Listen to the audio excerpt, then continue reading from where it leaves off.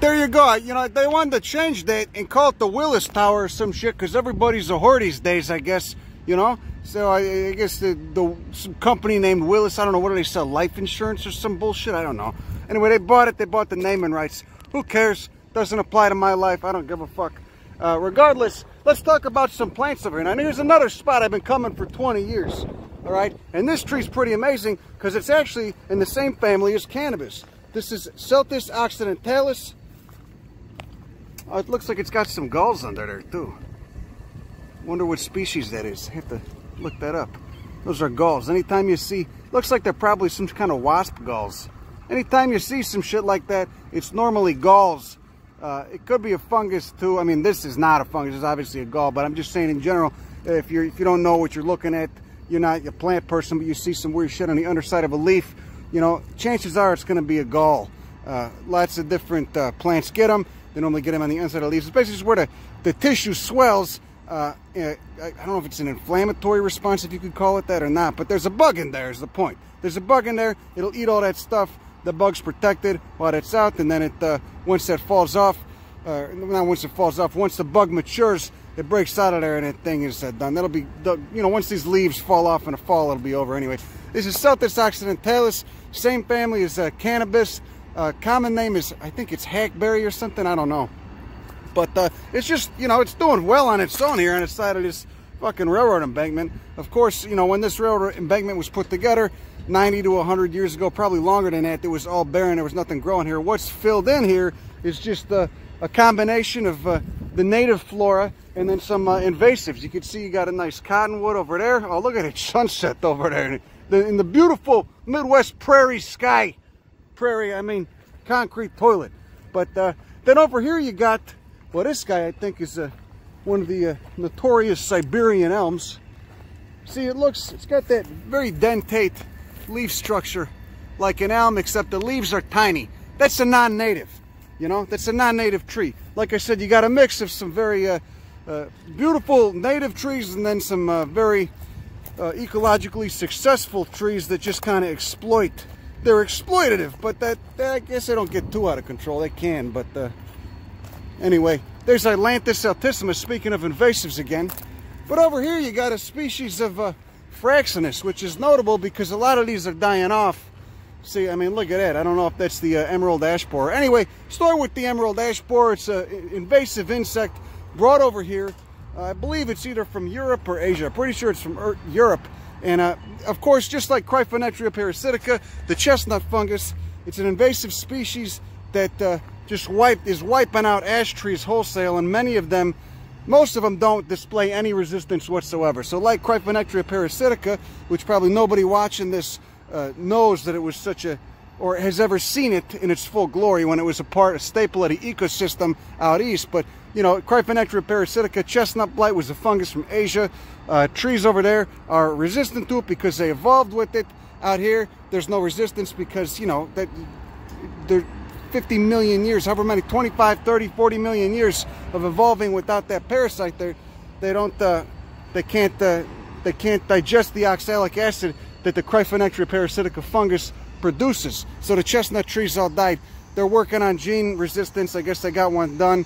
Now it's just a matter of reintroducing it into the ecosystem. And all they had to do is tweak one or two genes and get the tree to produce or, uh, enzymes that break down that oxalic, oxalic acid that the Cryphonectria fungus produces. And uh, you know, and that's what the Chinese chestnut does, which is resistant to that Cryphonectria. Anyway, long story short, invasive species are real. If you don't believe in it, you're an asshole. I'll kick you in the nuts next time I see you. Uh, so no burrito for you, I'll kick you in the balls. But uh, here you go, Fraxinus, and I believe this is, uh, see the Pennsylvanica or Americana. Don't know my uh, Midwest ashes as well as I should, but a good thing with ashes, you know, at least when you don't see the, uh, the samaras, the wing, they got those winged samaras that look like maples, maple seeds basically. But when you when they're not in fruit, you know, almost all ash trees have this general leaf structure. They're pinnate with a terminal leaf at the end, you know. You can't go by it 100% because there's other trees that do that. Walnuts, hickories look similar, but that, you know, it's it's normally a good uh, a good thing to rely on. It's a combination of looking at this, looking at the leaf structure, and then looking at the bark. The bark structure on ashes is normally pretty notable, and then of course once you get the fruits, uh, it's a dead shot. You know exactly what it is. Here's the bark on that ash tree. So, and, and most of the, the ashes out here have them. But of course, you get ash trees in the desert of Mexico.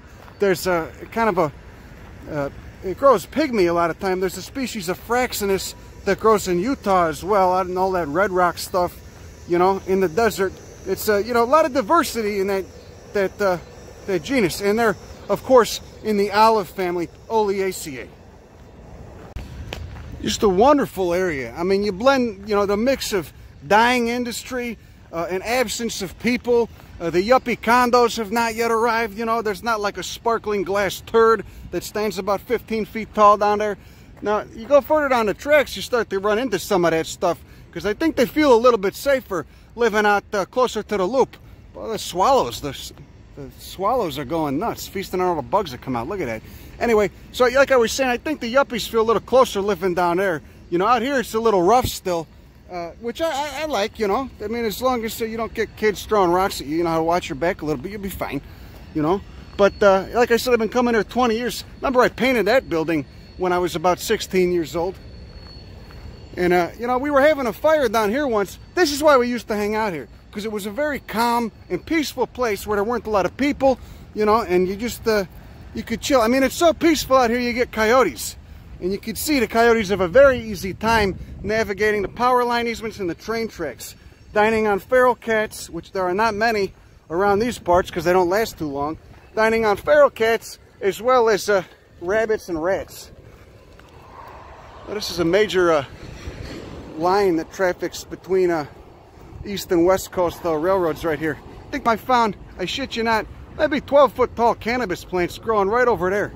Probably 15 years ago you know and then the cops of course like used to like to park their paddy wagons over there they'd hang out and uh you know drink their coffee with a little bit of booze in it maybe i don't know used to always see him hanging out there you know beating people to force confessions out of them i don't know. I'm just kidding. Whatever. That would never happen in the city of chicago. Anyway i planted some stuff here maybe 10 or 12 years ago. Let's see if it's still there. This is kind of sketchy. There you go. There's a mulberry. That's not a native one. Virginia creeper. Another Vitaceae, member of the, uh, hope there's, maybe there's a wino living down here. I hope I don't startle him. This is a catalpa, I believe, Bignoniaceae. Is that what that is? Yeah, with those leaves, I don't know what else it could be. Beautiful flowers on these when they're, when they're big.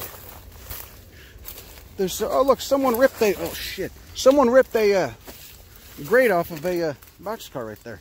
People used to come out here and rob trains too. At least it seems like that. You'd hear it over the police scanner. Oh, this is a bad one. Buckthorn. This is another bad European invasive.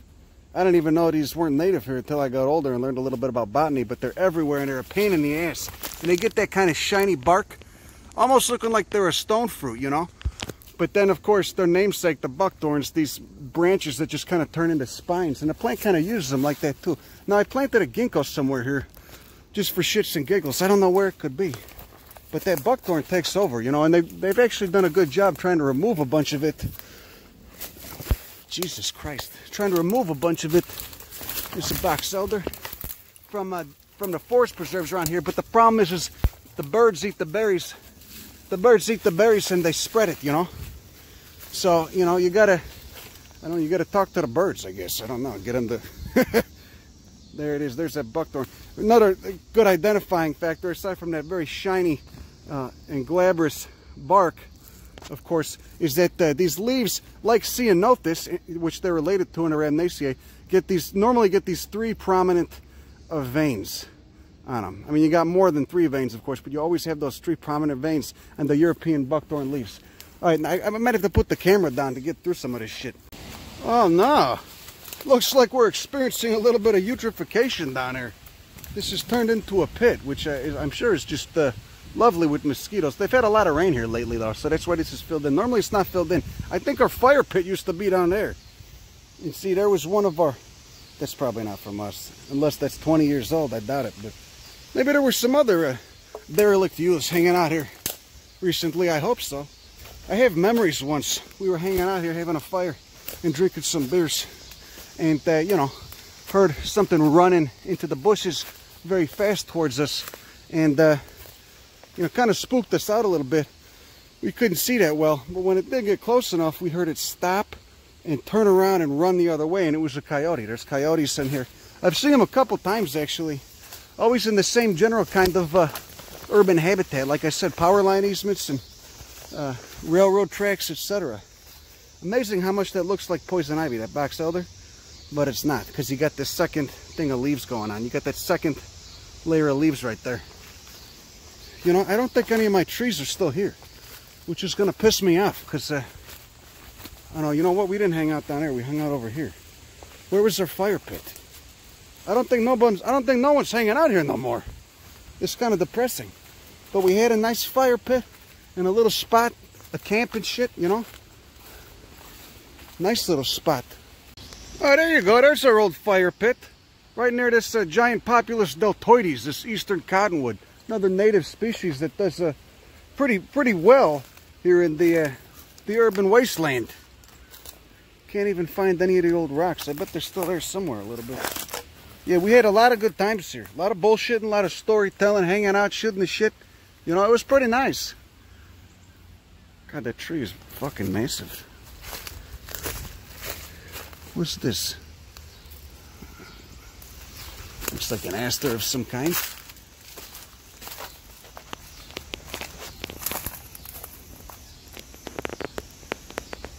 Those things grow like hell. And of course they produce uh, an inordinate amount of uh, uh, little fluff. That's their seed.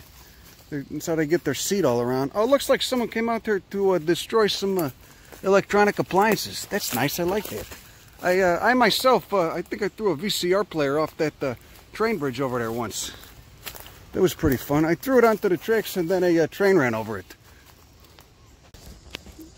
Oh, such a beautiful day on the southwest side. Anyway, here's a Pastinaca sativa, wild parsnip. There's the leaves of it. This is another plant, obviously. It's already uh, flowered and seeded, and it's doing, it's done its thing. It's you know going about to go dormant, but it's got a ton of seed on there, you know. And this is another European import, kind of weedy. There's, I believe this is another species of Artemisia. And I believe it's a European one. And then uh, over here, you got Artemisia vulgaris, which you can clearly see. Artemisia is, of course, out of mugwort. You know, it's a very large genus, though, and it's distributed both in Europe and North America, and I believe in Asia, too. Artemisia vulgaris right here. And most of them smell. This one, ah, it smells a little bit. You got the buckthorn going nuts. And then, uh, of course, many of you know this plant, uh, of course. Same family as that uh, Celtis I just showed you, that hackberry. This is a, uh, this is wild cannabis, you know, another non-native plant. Uh, you know, but it's doing pretty good. I can't tell. Let's see if this is a male or female right now. I can't really tell yet. At least I can't. Some of you probably can. Oh, looks like it's a female. Yeah, it looks like she's a female. And, uh, you know, it's doing pretty well. So it's, it's crazy to think that this plant right here, of course, same family as hops, same family as that hackberry, uh, is what uh, gets many of you so high who are probably watching this right now. Are you enjoying your bong rip? You know? Uh, uh you know, I've got nothing against cannabis. I think it's, I think you use it too much, it makes you kind of dopey, but overall it's pretty harmless and it's good for the inflammation, you know, especially if you're doing kickboxing or boxing, uh, you know, use some of those CBDs, at least I was, you know, because uh, my muscles will just be so sore. But I don't really like being too high. Uh, regardless, let's not talk about any of that. It's uh, doesn't matter. And uh, it's not legal in all 50 states, so there's a statute of limitations, and I got an angry baby mama who's probably stalking me on this right now. Could use it against me. Regardless, let's not talk about that. Uh, cannabis sativa, uh, there's also, there's another, what is there? There's another cannabis species that they're trying to say, I don't know. There's, there's indica, of course, sativa. Then there's another one you see in Nebraska. I can't remember the name of it. it begins with an R, I think. It may or may not be a species. The point is, this has been used by people for so fucking long and interbred. You know, the species delineations get a little funky sometimes. But this is the true plant. So it's crazy to think that human selective pressures, which is the really important thing to talk about, can turn this plant into a what gets you so zonked right now. You know, hopefully you're not too zonked. Hopefully you're going to remember some of this tomorrow. You know, it's just like uh, poodles and wolves. Poodles and wolves are the same species, but over 10,000 years. And human selective pressure, which is, of course, quite different from environmental selective pressure, has turned uh, the wolf into the poodle, and the Doberman Pinscher and the neurotic cattle dog, etc. And uh, it has turned cannabis sativa into the fucking cookies or whatever, you know, shit that's got you so silly right now. You know, and it's just basically you grow 100 seeds, you select one or two that's got the best qualities you're looking for, and then you breed those. You breed those with some more that have the best qualities you're looking for, and if you do that enough, you eventually get buds that are so enormous that it's breaking the branches off of the plant, and the plant would never really survive in the wild because the flowers on it are so incredibly big, and the terpenes that it exudes are so thick and resinous that it would mold uh, in nature, in the humid environments, which it's uh, prone, which it needs basically. It, they're mostly from humid environments. So uh, the point is human selective pressure is a real thing. Domestication is a real thing. Just like uh, wild aurochs, which are now extinct in uh, North America, have been turned into cattle. You know, wild aurochs were probably very smart, just like bison are. They were probably very smart and uh, didn't like being fucked with too bad. But humans bred the smart out of them and turned them into basically you know, mouth-breathing uh, vapid morons. No offense to any cows out there, but that's uh, that's basically what cattle are. I've hit them with a freight train before. It's knocked them uh, straight over. It's uh, it's not a pretty sight, you know, especially when you get all the shit in the blood dripping off the cow catcher. Uh, which I guess, I guess is called a cow catcher for a reason. Humans bred them to be dumb uh, because they're easier to control as livestock animals. Much like, you know, the, the more idiotic and uneducated people are, uh, the easier they're going to be to control as well. So it's very important to get an education out there and not spend all your time smoking dope and playing video games. You know, you could do that a little bit, I guess. I would never do it, but uh, you could do it a little bit. Just, you know, take some time out to read a fucking book or two once in a while. You know, maybe drink some green tea on the side too. Go for a fucking run. You know, do some jump rope and punch the bag. What the fuck am I talking about? Let's keep moving on down here. Here we go. That's a catalpa. And these are a native tree. And they're gorgeous. They get fucking huge white flowers when they're blooming, going off. And they're actually, they're in the Bignoniaceae, which is a family that's mostly in the tropics. You know, desert willow in the Mojave Desert, Chilopsis, you know, mostly a, it's a, not a riparian tree, but it needs more water. It's not, it's a desert plant, but it needs to grow in wetter areas in the desert or at least be tapped into a water source. Chilopsis, uh, not a true willow, called desert willow, has beautiful flowers, zygomorphic flowers just like this. Very beautiful plant, and they're speckled. The inside of the perianth is speckled. Very beautiful tree. Okay, and then looking over here, you got the, the two non-native plants, of course. A lot of weeds and bullshit here.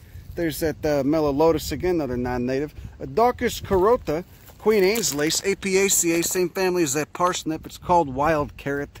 Uh, I guess the roots are edible. I don't know. Who the fuck cares? But regardless, uh, and then this is Centaurea stoebe. Uh, Centaurea, of course, is in the thistle subfamily of the uh, Asteraceae over there. Okay, and you can see, I mean, just look at all those phyllaries, and uh, it's kind of, I mean, kind of, it doesn't look much. It looks a little bit like a thistle, I guess, if you're a novice. So, uh, there you go. But this is actually, I think, from Italy, you know, which is one of the only countries I, I, uh, one of the only countries I'd like to go to, you know, if I get the chance to see if the people that live there, uh, you know, uh, are as neurotic and insane as uh, myself and that uh, that half of the family, you know.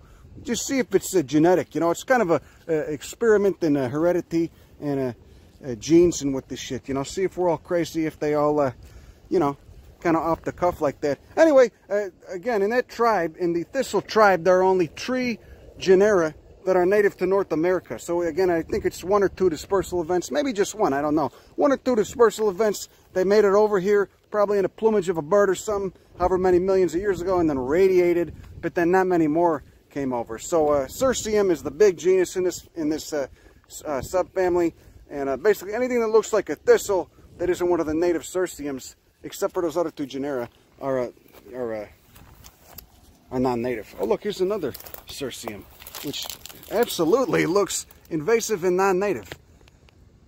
But uh, you could see just how unappealing that would be to touch. But I'm going to go ahead and touch it anyways, because that's what I do. Oh, yeah, that doesn't feel too good.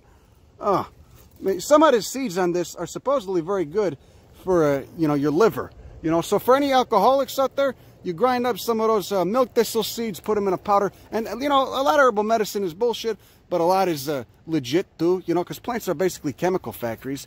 You know, the same compounds you might take in a multivitamin are just the synthesized version of something the plant already produces.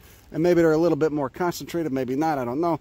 But uh, this, I guess, there's actually some good research that milk thistle is good for your liver. You know, which is also good if you go around eating strange mushrooms and you uh, accidentally ingest an amanita or something, you get that uh, liver failure, you know, and that's kind of what the amanitas do, at least the toxic ones. Some of the amanitas are choice mushrooms, but uh, others, of course, uh, contain deadly amatoxins, and they make you gag and puke for a while, and then you feel better, and it's, oh, it's all just a ruse, because the whole time your liver's dying, so you feel better for about eight or ten hours, and then you die, because your liver fails.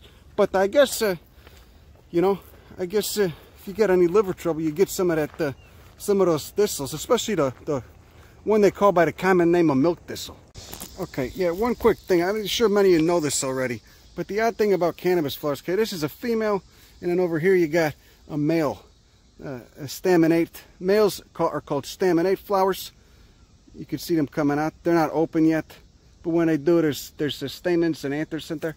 And then the, these are called pistillate, of course. That's with any plant, not just weed uh, pistillate flowers uh, are the female flowers. And that is basically, uh, God damn it, if you could see that. This camera doesn't want to focus. Those little hairs coming out, I believe are the styles. You know, the point is they're they're meant to attract the pollen because this is, of course, wind pollinated. It's not uh, it's not pollinated by insects.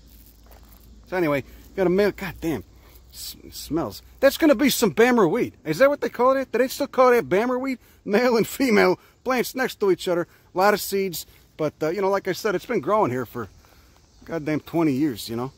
And uh, I've never smoked uh, this stuff because you know, I'm not much of a weed guy, you know. I would dabble occasionally, but I never really liked it. Just got too weird. I'll do some CBD though. But uh, regardless, it's pretty cool. It's still uh, still doing well here. And I guess they just legalized it here in Illinois too. So we'll see where that goes, you know. Uh, there's, uh, I believe, one of those little cottonwood seeds. How about that?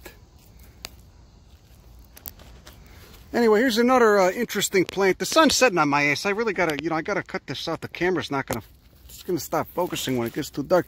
This is Oenothera biennis, and it's a evening primrose. It's a native plant and uh, it's got uh, it's it looks like shit right now. I'm not sure what happened. Maybe they, you know, I think the railroad comes by and they spray Roundup on all this shit to keep the road, the road clear. But uh, or it's just, I mean, they gotten enough rain. It shouldn't be looking like this right now. It looks like uh, herbicide damage. Regardless, this comes out covered when it does bloom. Uh, in in none of the one, even the ones on the north side weren't blooming yet. It's covered in uh, yellow flowers. Beautiful four-petaled yellow evening primrose family flowers. Holy shit, I haven't seen lightning bugs they're still alive. I can't believe uh, the Anthropocene hasn't killed everything yet. I don't see these too many anymore. I grew up with them, but, uh, you know, a lot of the lightning bugs have just kind of disappeared, you know? And I guess that's, uh, you know, what most people want. They'd rather have the convenience of a fucking, you know, just having people and concrete everywhere instead of uh, seeing the nice stuff that, like uh, lightning bugs. It uh, makes you feel a little bit less homicidal about how terrible the world can be. Anyway, uh, I digress. Biennis, evening primrose family. A lot of good uh, speciation out here. There's uh, another species begins with a G. Kind of getting pre-senile uh, geriatric here. Can't remember it off the top of my head. But Oenothera biennis. Look for the flowers when they come out. You could see one of the things with the uh, is they get the inferior ovary. The whole family does. So, and it's kind of like a little tube-shaped thing. So, uh, and you can see it. That stalk will turn into a seed capsule, and then uh, the flower will come out right about there. Anyway, that's all I got for now. Hope you had a nice time. Uh, go fuck yourself and uh, have a lovely evening.